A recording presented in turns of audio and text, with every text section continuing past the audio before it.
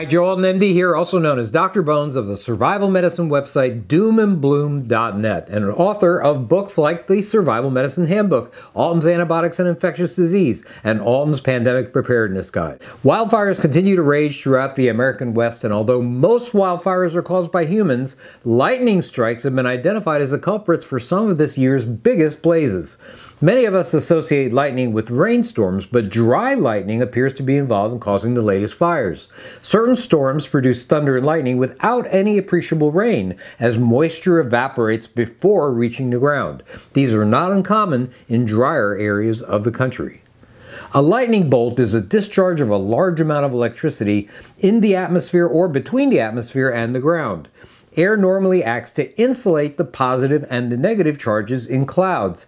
At one point, however, the difference between the two is so great that electricity is generated and released. The temperature of a bolt of lightning can reach several times that of the surface of the sun.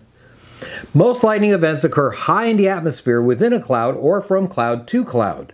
Cloud to ground strikes, however, are more responsible for injuries to humans. In recent years, the National Oceanic and Atmospheric Administration, NOAA, has reported dozens of annual lightning strike fatalities. Although the death rate from a lightning strike hovers around 10%, the grand majority of survivors do suffer some form of lasting ill effect.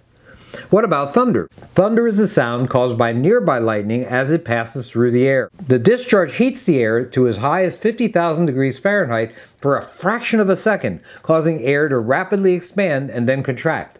This produces a sound wave that we hear as thunder. When you listen to thunder, the first rumble is created by the part of the lightning channel that's closest to you. Continued rumbling comes from portions of the lightning that are farther away. Now, can you tell how far away a lightning strike is? If you hear a cracking or a very loud booming sound, well, that means the lightning was very close. More of a rumble, it was probably several miles away. To hear thunder at all, the flash has to be probably within about 10 miles. As the speed of sound is about 343 meters per second, a space of about 5 seconds between a flash and associated thunder equals about a mile. Count the number of seconds and divide by 5 to calculate the distance to the lightning strike. As an aside, by the way, two of Santa's reindeers, Donner and Blitzen, are named after the Germanic words for thunder and lightning. There are a number of ways in which a person may be struck by lightning. Direct strikes, a person struck directly by a lightning bolt, that person is usually out in the open.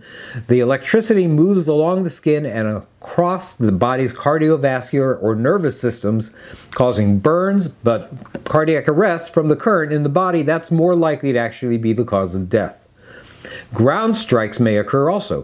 When lightning strikes, say, a tree, energy travels outward along the ground. This is known as ground current. Anyone near a lightning strike could be a victim. Matter of fact, this form of lightning strike causes the most injuries and deaths.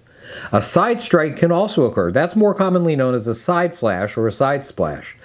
It occurs when lightning strikes a taller object, again, say a tree, near the victim. Some of the current jumps from the original target of the strike, the tree, to the victim, who's usually a very short distance away. That's why you shouldn't take cover under a tree if you can at all help it. A conduction strike can also occur.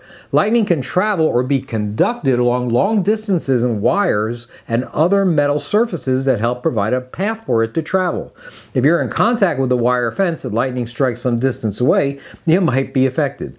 Inside, anything or anyone connected to wiring, plumbing, or other metal surfaces could serve as a conductor.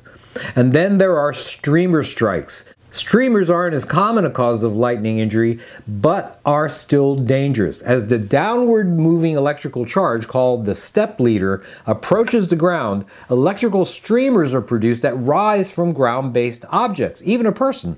If a person's involved, they could be killed or injured, even if the streamer didn't connect with the step leader itself.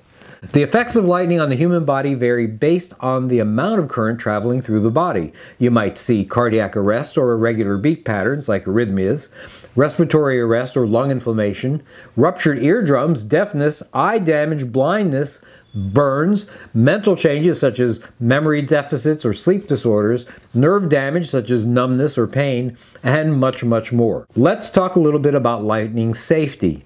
When thunder roars, go indoors. It's important to realize that being outside is dangerous whenever a thunderstorm is in progress. If you can hear thunder, you're in danger of being hit by lightning for up to 30 minutes after the last rumble.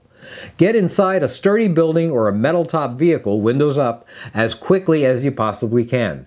Strive to avoid being the tallest object in the area. Even when there are taller objects like trees or utility poles, stay away from them. Lightning will likely target them, especially if they're isolated. Avoid touching metal. It doesn't attract lightning, but it conducts it for 100 feet or more. Once inside, stay off computers and other electrical equipment. Avoid touching plumbing like sinks or faucets, and stay away from doors, windows, and porches. Don't lean against anything metal or concrete. Lightning can actually travel through any metal wiring or bars that even could be in concrete walls or the flooring. Cardiac arrest is the most common immediate cause of death. This person needs first aid immediately. Call for help and begin CPR. If there's an automated external defibrillator available, use it. Get the victim into a building if at all possible because lightning indeed can strike twice in the same place. If thunderstorms are in the forecast, postpone your outside activities. There are circumstances, however, where you might be caught outside and unprepared for a lightning storm. In these cases, leave high ground like ridges or hills. Don't take cover under isolated trees. If you're in the middle of the forest, you can't avoid the trees, but stay near the lower trees if you possibly can. Avoid rocky overhangs or cave entrances as shelters. Someone at the entrance could form a conduit between the cave roof and the cave floor. The same goes for the covered porch of a house. Stay away from conductors like lakes, streams, or other bodies of water. Avoid lying flat on the ground, but stay in a low crouch with as little of your body touching the ground as you possibly can. Don't touch barbed wire fences, power lines, or anything else that conducts electricity. If you're in a group, some say to stay 10 feet apart. This actually may make an individual more prone to being struck, but it lessens the likelihood of multiple casualties and increases the chance of having uninjured rescuers at hand. Hearing about a person struck by lightning may be shocking, but not as much as if you were the victim. Be prepared to make wise choices whenever there's electrical activity in your area. This is Joe Alton, MD, that old Dr. Bones, wishing you the best of health in good times or bad. Thanks for watching. Hey, I know you don't have all the medical supplies and personal protection items you'll need in times of trouble, so why not check out our entire line of kits, supplies, and more at store.doomandbloom.net.